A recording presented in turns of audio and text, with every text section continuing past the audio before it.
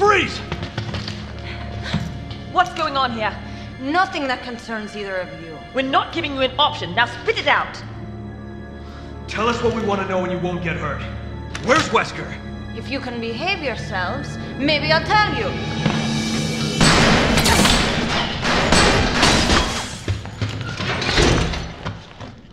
Damn it! She's tough. I'll give her that much. What's this?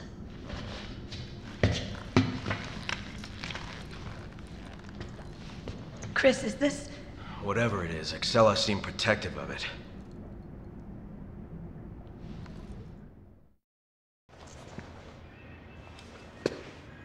So, you've made it this far. Too bad you won't make it much further.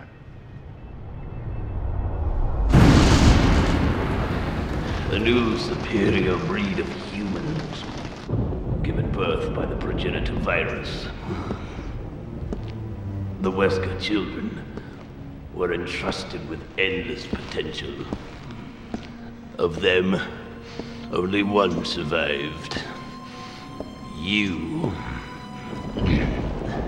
Are you saying I was manufactured? I was to become a god. Creating a new world with an advanced race of human beings. However, all was lost with Raccoon City. Despite that setback, your creation still holds great significance. now my candle burns dimly. Uh, ironic, isn't it?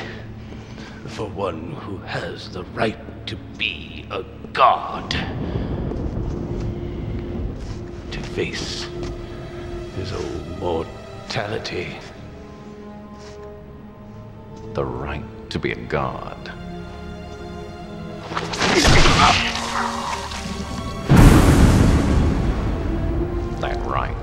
is now mine.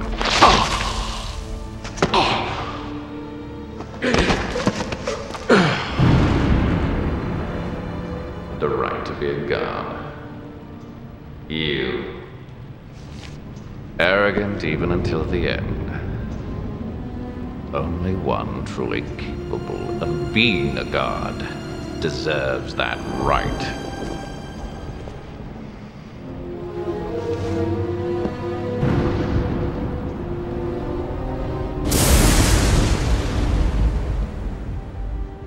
The right. With Uroboros, I have that right.